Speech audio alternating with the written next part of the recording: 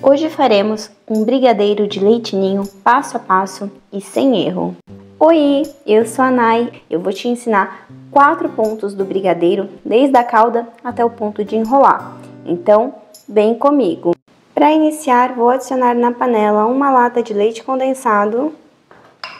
Raspa bem para não desperdiçar. Vou adicionar aqui duas colheres de sopa e meia de leite em pó. Só que eu vou peneirar. Peneirar para garantir que não vai ficar nenhum gruminho. Então, vou misturar esse leite em pó com leite condensado primeiro, para facilitar dissolver, ficar bem homogêneo. Sempre que tiver leite em pó ou chocolate em pó, amido de milho, mistura primeiro no leite condensado. Por conta da consistência, vai facilitar dissolver bem o pó. Mistura, mistura, mistura. Olha só, bem homogêneo.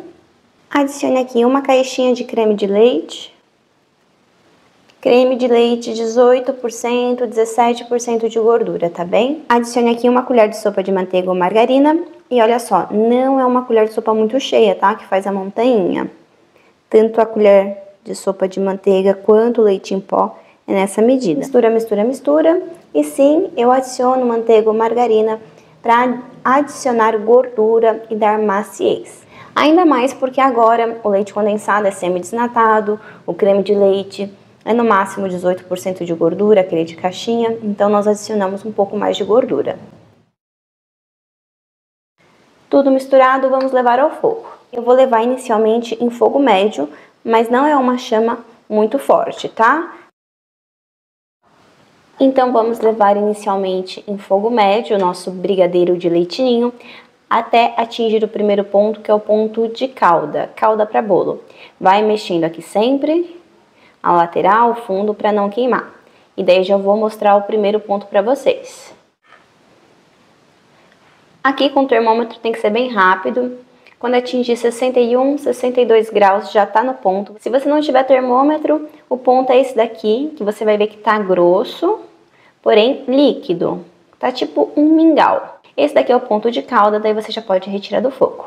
Agora eu vou continuar mexendo aqui em fogo médio até atingir o segundo ponto, que é o ponto de brigadeiro de colher. Para você usar o termômetro, é uma coisa importante, você não pode encostar no fundo da panela, você tem que deixar mais ou menos no meio do alimento, tá? E daí vai segurando o termômetro e vai mexendo quando estiver chegando próximo do ponto. Não precisa ficar com o termômetro na panela o tempo todo. Se você tiver aquele outro que é tipo de laser, é mais fácil. Importante, não mexe muito rápido, assim, você tem que mexer sempre, mas não muito rápido. Por quê? Se você mexer muito rápido, vai açucarar o seu recheio. A gente mexe mais rápido só lá no final para não queimar. Vai mexendo aqui sempre, eu já vou mostrar o segundo ponto para vocês.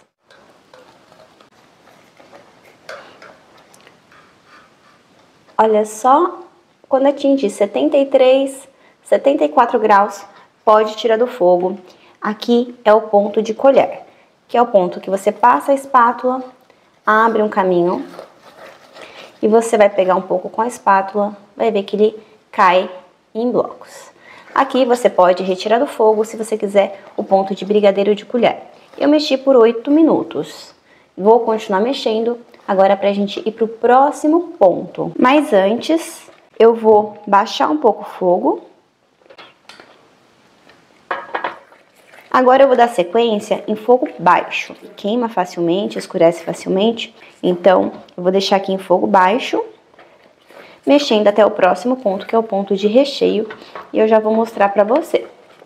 E se você quiser o recheio de brigadeiro tradicional, eu vou deixar aqui abaixo do vídeo para você na descrição.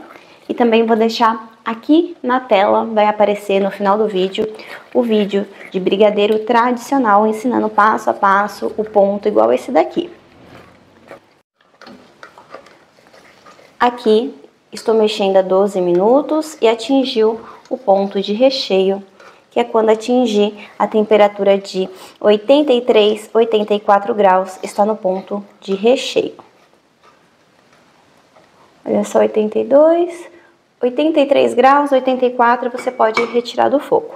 E o ponto é esse que você passa a espátula, abre um caminho, Aqui é preciso mexer um pouquinho mais rápido, senão queima. Abriu o caminho e você pega com a espátula. Ele demora a cair, tá vendo? Esse daqui é o ponto de recheio. A partir desse ponto, eu vou mexer mais um pouquinho. Olha, mais uma vez, o ponto de recheio. Abre um caminho, demora a fechar. Eu vou mexer mais um pouco, porque já tá chegando no ponto de enrolar. Cuidado que aqui você tem que mexer rapidamente. Atingiu 91, 92 graus, tá no ponto. Não tem termômetro, o ponto é esse daqui, o clássico, que ele desgruda no fundo da panela, tá vendo? Eu jogo a massa toda para um lado, ela vai. Jogo a massa toda para o outro lado, ela vai. Tá vendo que tá desgrudando do fundo da panela. Se você pegar a panela e virar, olha só. Nesse ponto, você pode retirar do fogo. Retirei do fogo. E uma dica, começou grudar um pouquinho o fundo da panela, não mexe mais o fundo da panela. Vou colocar a massa aqui em cima de um plástico. Utilize uma espátula de silicone que ajuda bastante. Eu vou deixar as informações dos utensílios, do termômetro, tudo na descrição do vídeo também. Depois dá uma olhadinha.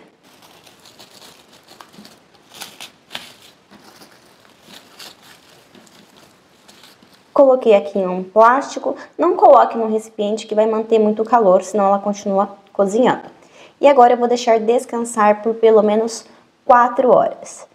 De 4 a 6 horas em temperatura ambiente. E sim, precisa descansar para que o açúcar volte a estabilizar e fique na consistência que nós queremos. E daí eu volto aqui e vou mostrar o resultado para vocês. Bem, meus queridos, aqui está nossa massa, descansou. E agora vamos ver como que ficou a textura. E quem já assistiu até aqui, quem gostou da receita, gostou das dicas, me fale aqui nos comentários. Amei a receita para saber se vocês gostaram. Para manipular a massa, o ideal é você utilizar aquelas luvas de silicone, tanto para questão de higiene, se você vai fazer para vender, senão você pode passar um pouquinho de manteiga, margarina nas mãos. Mas aqui eu não vou usar nada, só para vocês verem como que a massa fica boa. Depois que você começar a manipular a massa sem passar nada na mão, vai começar a soltar resíduo de massa e vai grudar. Mas olha só, como é uma massa boa que não gruda na mão. Isso daqui mostra que ela está com uma boa maciez, mas também com uma boa textura. Você já fez isso com o seu brigadeiro? Faça esse teste quando você fizer uma massa de brigadeiro, significa que ele está numa boa textura. Agora sim eu vou passar um pouquinho de margarina na mão, porque já tá meio grudada de massa.